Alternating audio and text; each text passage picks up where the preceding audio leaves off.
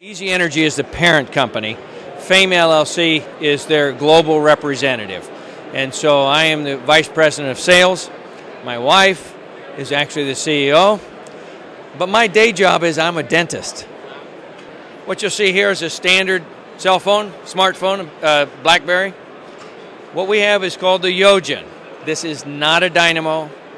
It is has no battery. It's not solar and it puts out more energy than your wall phone charger. So the one you plug into the wall puts out less energy to this. This the technology in this allows us to put a constant stream of energy there so we don't hurt the battery, we cannot overcharge it, and basically it is a ripcord. There is a generator here. When we pull this, you'll see it immediately goes to charge. Because of the amount of energy, that we put into it or that comes out of that, it is an equivalent charge to your wall charger. So if you put five minutes of charge into your BlackBerry and you get 20 minutes of talk time, five minutes of pulling this will give you 20 minutes of talk time.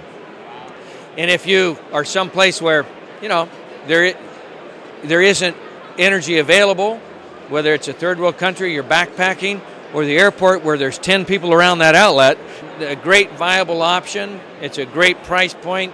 It's only $39.99 US, so it's not overly expensive.